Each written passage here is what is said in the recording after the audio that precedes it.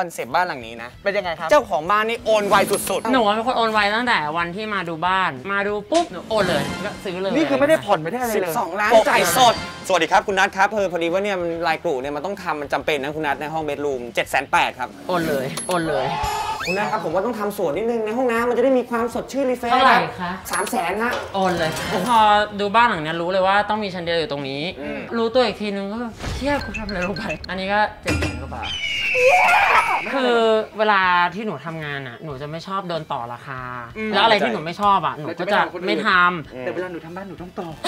เอหนูอทำอย่างนั้นำไม่ได้ถ้าหนูพลาดไง นี่แหละบานปลายของจริง ไปดูกันครับว่าจะปังหรือจะพังค่ะ